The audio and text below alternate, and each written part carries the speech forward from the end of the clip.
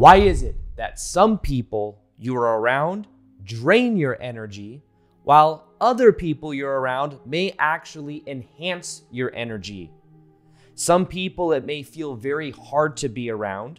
You may find yourself feeling more depleted by the time you leave or by the time they leave than when they were there. And you feel like you just want to go home, cocoon yourself, and not be around the energy. But other people, it is so easy to be around, and there is this energy of feeling like more motivated, more inspired, and just more present in general. And what can you do energetically to shift your energy so that instead of being affected by other people, you are the one setting the frame? Now, what I'm about to share with you in this video completely shifted my energy. It made me more magnetic. It allowed me to not be so affected by other people's energies. It allowed me to understand what was really going on. And once I learned it, to be honest, I ended up setting more boundaries because I understood that the people I was surrounding myself with, energetically, we are absorbing their thoughts, we are absorbing their motivations, even their belief systems. We absorb. And this is done at a subconscious level. So you could say, okay, well, I'm, I'm going to go meet certain people that have very limited views on life. I'm not going to absorb their energy. But subconsciously, if you're around them enough, it may leak onto you.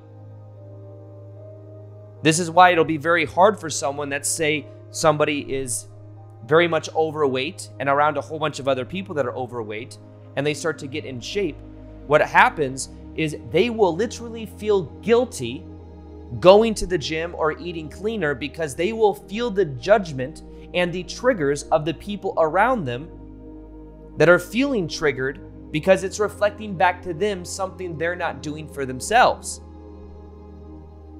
So, what happens is Control, think of guilt as a form of control. It's an emotion that controls us, whether we're feeling the guilt or whether they're projecting the guilt onto us, like who are you trying to be by going to the gym?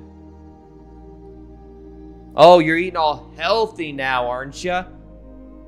As if there's some shame with that. But do you see, what people are fighting for is they are fighting for familiar. And one of the sad parts of this process is is it may feel normalized to be around people that have very toxic energy. And when we heal the part of ourselves that has normalized toxic energy, we also find that the person we were attracting that was draining our energy has served its purpose, and we can now let that go.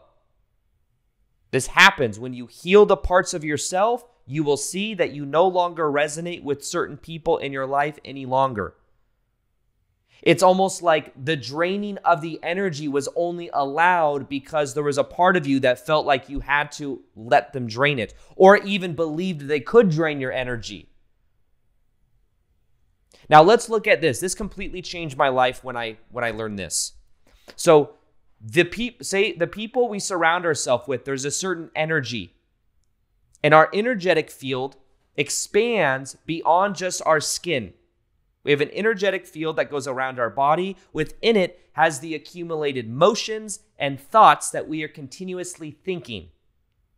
And they can show this with different machines as well when it comes to the emotions we feel on our energetic field, uh, the effect on our energetic field. And when we're feeling dysregulated and we go somewhere what effect on people do you think that has?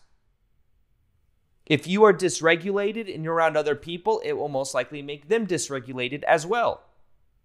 Whereas if somebody else is dysregulated, comes around you, and you're kind of neutral, it may bring you into a dysregulated state. And remember, people fight for familiarity. I have a buddy of mine that was telling me that there's a member of his family that always is like kind of like watching the news and always like doomsday. Like, did you see on the news that there's this crazy stuff happening? Yeah. Isn't that crazy? And if you're not like, oh my God, yes, that's crazy, it's almost like they feel alone. So you're like, oh yeah, I guess it was kind of bad. But do you see how do you see how someone may want someone else to feel fear so that they know they're not alone on their fear? So when you are around other people, you have an energy field and they have their energy field. And if they are dysregulated, it will have an effect on yours. It can have the effect of bringing you more likely into co dysregulation. However, when you co regulate yourself, you have the ability to bring people into a co regulation. So if somebody comes up to you and they go, "Oh my gosh, did you see what was happening?" and you're you, you choose not to be you choose not to be like either resistant, both not resistant like don't get that negative stuff around me, but also not buying into it like, "Oh my god, you're so right." What happens is you can remain in your own frame. You can regulate yourself and not let it affect you. It has to do with how present are you inside of your own body and how much do you internalize other people's emotions? How much do you do you uh, you don't have to agree with everyone's reality. Now this doesn't mean disassociating and agreeing like like saying, "Oh, I'm not saying like this horrible stuff is happening in the world." but you have a choice whether you internalize it and you let it dysregulate yourself. Well, I think one of the biggest gifts we can give to the world is to remain in a higher vibrational state, to be present, to be adding our unique gift into the world. That adds an energy into the collective consciousness that is better than people saying, let's just get in, let's just all be fearful. It's almost like people think the world is going to change the more people that blast fear into the world. I get people that message me sometimes. and They're like, you know, everything that's happening in the world, they're like, why aren't you talking about this? Why aren't you talking about this with your your following? And it's like, why is it my responsibility to talk about stuff that I'm not equipped to talk about when I could instead talk about the stuff that I believe makes a difference in my life and other people's lives. And what by by projecting the fear out into the world and getting more people afraid, why does that benefit? If anything, it harms it more because then there's more negative thought energy that's being put towards it. What we need is more thoughts of unity, more thoughts of peace, of empowerment, of transforming the stories that we have that are keeping us trapped in that level of consciousness. Now, one of the major things that I had to learn to stop attracting toxic people into my life is I had to realize I was doing it for a reason, subconsciously. You see, we attract people to mirror back what we believe about ourselves. So, if we believe, for example, that people are controlling and manipulative and that they can't be trusted, we will attract people that are controlling and manipulative and can't be trusted.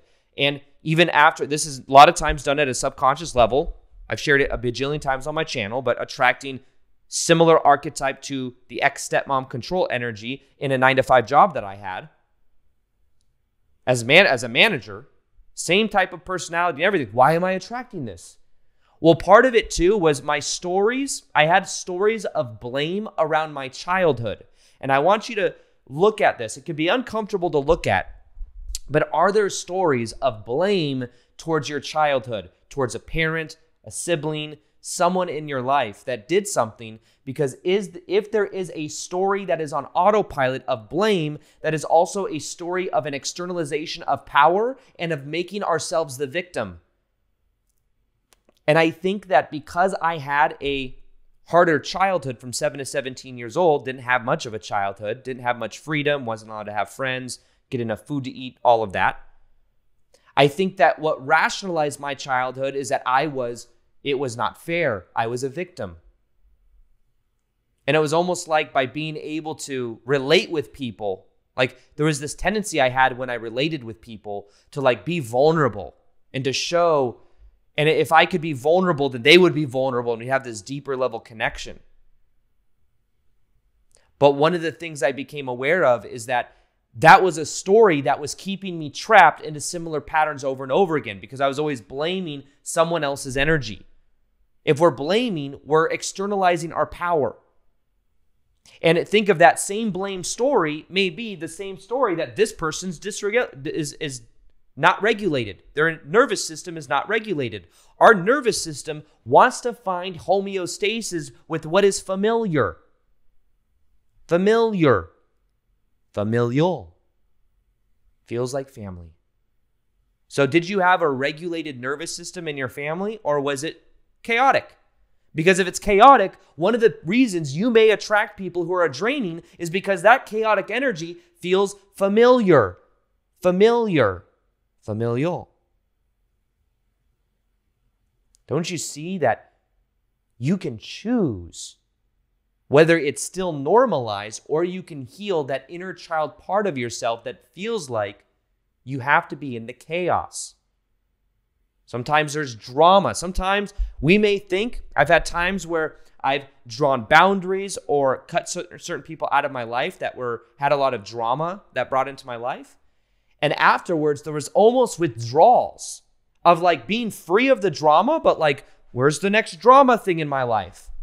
And then being aware that there's a part of myself I can begin to soothe and I can let things be more relaxed, more regulated. But one thing that I had to become aware of is this story of blame.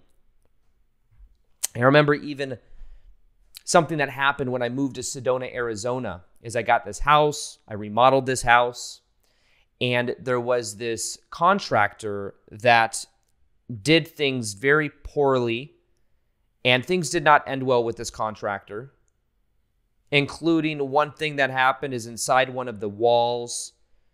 Um, they put in i had a steam shower unit i had put into the master bathroom and the steam shower unit was not installed correctly. So every time the steam unit went on it was putting water into the walls for like months and months until there was black mold and i had to spend like a hundred thousand dollars or eighty thousand dollars to fix black mold in the house which was not covered by insurance for some reason.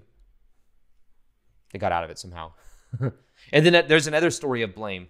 So I had the story. So this happened, and it was, uh, I realized that there was this story that I had of blame around the contractor, even blame around the insurance company, because it's like, why do I pay for insurance if the insurance never actually they pay, pay for it. When I bought the house, also there was roof problems that cost twenty thousand dollars to fix, and I'm like, why did I get insurance? Why am I paying for insurance if they got out of everything? It's like you didn't check the water heater two years ago from some handyman, so we're not covering it. And I'm like, what? It didn't make sense to me. But there was this definitely this story of blame that I had around this whole situation. Around the person, around the um, the insurance company, even. But it was very much dysregulating my own nervous system. There was a part of me though that became aware that there were certain stories I had around this draining energy where I believed that I was in a way that was normal. Even before that, before I moved into this house, I lived in a house in Vegas with a landlord because I was renting a house. It was a very nice, it was one of my favorite houses I lived in. Um, but the owner of the house was super neurotic. It was like, uh, I remember three, two, three weeks. I moved into the house two weeks later. The oven, the, I, I went to use the oven for the first time and it wasn't working. He wanted to charge me $800 to fix the oven when I never used the oven and I worked it. I, I lived there for two weeks, used the oven for the first time. And I'm like, no, no, no, this isn't the way it works. I'm renting the house. I don't pay to fix the oven when it wasn't working when I moved in, you know? And it was like a constant, uh, it's kind of like this constant reflection. Another thing that happened was the, um, the pool was leaking in that house and I had 100,000 gallons of water that was leaked and I had to pay two thousand dollar water bill. Now it sounds like I'm I'm um what you call it? I'm complaining, but what I'm saying is that dynamic where I had to like stand up for myself, and eventually I got out of that like whole contract and everything.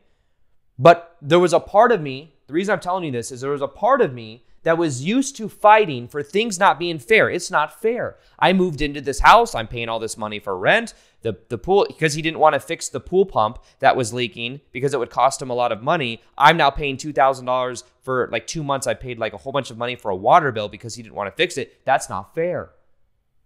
This guy I had contract my house in Sedona did all this stuff not correctly, and now I'm paying for it. That's not fair. Insurance company won't pay for this. That's not fair. Eventually, I became aware that I was blaming and in victim mode. And I was like, you know what? Instead of being in victim mode, I'm going to stand up for myself. And I remember saying, no, I'm not paying. Like, if, if you don't get this pool fixed, you're going to pay the, the water bill because it's not fair that I have to pay $2,000 because you don't want to fix the pool because you're trying to sell the house. Or uh, with the other, the house in Sedona, it was a similar thing when I stand up for myself and just cut out dealing with the person, dealt with it, and then healed that energy inside of myself. So the reason I'm saying all this is because instead of becoming a, it may feel very familiar and normal to be a victim and to be around other people that have dysregulated energy and it's their fault that I'm not feeling a certain way. But part of taking your power back is either setting boundaries, which feel unfamiliar at first, but when you set boundaries, you end up gaining respect as a as a natural reflection of that. But also understand that you can feel safe inside of your own body, feel the separation between you and other people. You can begin to regulate your own nervous system. And one of the most powerful ways I found to do this, by the way, is to clear out the energetic, the energy of unprocessed emotion out of your field using something called breath work. One of the most powerful things I've ever done in my life is I got certified in breath work because I would see this done at my live events and my challenges, and people were so transformed that I got certified in it. And part of being certified was I had to go through it, and I had some of the biggest releases of my entire life. And uh, if you want to experience breathwork for free, you can do so in High Vibe Tribe. It's my free community. I have breathwork in there. It's a two hour long ceremony. You can watch it for free. I'll go ahead and link it below in the description box. But uh, join High Vibe Tribe and do that breath work. Watch how much your life begins to change and understand that a huge part of this process is feeling safe inside of your own body. A huge part of this process is becoming aware of your beliefs, of your uh, of your identity, of what you feel responsible for. If you feel responsible for other people's energies, you will take on their tension. You will take on their energy literally. But feeling safe in the bottom three chakras is what really allows you to then feel the separation between you and other people, which gives you more magnetic energy. When you heal that energy inside of yourself, certain people will begin to fall out of your life. And you'll you won't feel so guilty about it because you'll know it served its purpose, but it no longer resonates with you. So, if you want a video to show you step by step how to do this, the inner child, uh, the inner child dynamics that are involved with feeling safe inside of your own body. One of my most popular videos is from a live event. If you are someone that can feel other people's energies, watch this video. It will change your life. Put it right here. So, empaths, people that can feel other people's energy. This is both a superpower